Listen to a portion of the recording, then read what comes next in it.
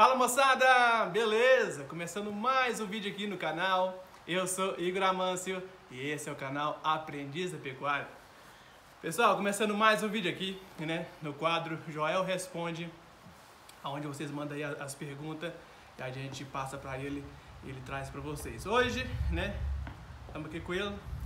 Um alô pro pessoal. E aí, pessoal, tudo bem? Vamos aprender de novo, né? Mais Vamos uma lá. vez. Hoje a pergunta é do nosso companheiro aí, o Marcos. Ele perguntou: é, sítio de 11 hectares, tudo plantado no braquiarão, com lote de 25 bezerras Nelore na recria. Qual o tamanho e o número de piquetes para fazer o ciclo de 4 meses? Pessoal, Marcos, Isso. o Marcos está perguntando que ele tem um sítio de 11 hectares, né? Ele vai pôr um certo número de bezerra lá, perguntando qual a quantidade de piquetes, né, que seria o ideal. Essa pergunta, ela é... Muita gente faz essa pergunta. O que nós temos que observar é o seguinte, para você ter um desenvolvimento, Marcos, nessas bezerras, você precisa manejar bem as suas pastagens. E quando eu falo manejar bem, é você trabalhar na altura do capim. Então, o braquiaram, braquiarão, brisanto, marandu, que você deve é o seu aí, o que, que é o- a altura dele de, de entrada? O certo é você trabalhar com 30 centímetros e 20 centímetros a saída. Por que, que eu estou falando isso? Quando você tem os piquetes, mais piquetes, fica mais fácil você fazer esse controle. Então, o que eu quero deixar para você é o seguinte: o capim ele precisa ter perenidade.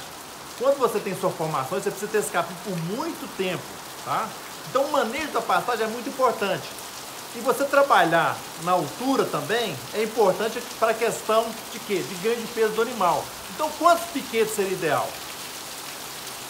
Eu, é mais fácil para você, o seu colaborador, quanto mais piquetes você ter, fica mais fácil o manejo. Mas eu quero te dar uma sugestão aqui.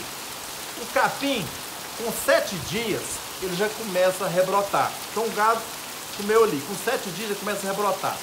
Então eu não acho interessante deixar mais que sete dias o gado no mesmo pasto, tá? Então, no seu caso aí, para você trabalhar pelo menos, tá?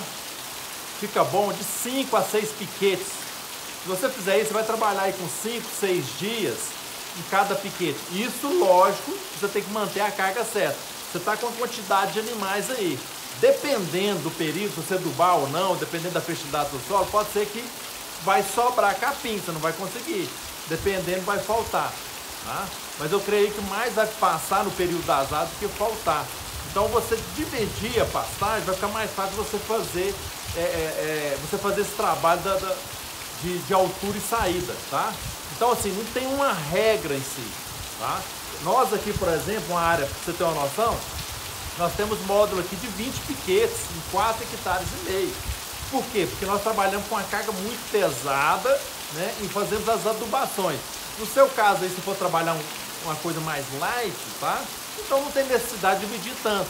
Uns 5, 6 piquetes já facilita bem o seu manejo, tá ok? Espero que tenha esclarecido. Aprendeu aí, pessoal? Mais uma coisa aí pra vocês, mais um vídeo aí, né? Se você gostou aí do vídeo, deixa aqui embaixo o like, se inscreve no canal, deixa aqui sua pergunta também nesse vídeo. Se não assistiu o vídeo anterior, vai lá, vai estar aqui no finalzinho, assiste também, né? E você vai aprender muito, eu tô aprendendo muito. Então, mensagem pessoal. Pessoal, dedique, seja diligente, né? Seja responsável, tá? Os- a, a Bíblia fala o seguinte: os diligentes prosperará. Então você, essa preocupação de dividir os seus passos, manejar bem, isso é diligência. E a diligência vai fazer você para prosperidade, beleza? Alô, pessoal, até o próximo vídeo.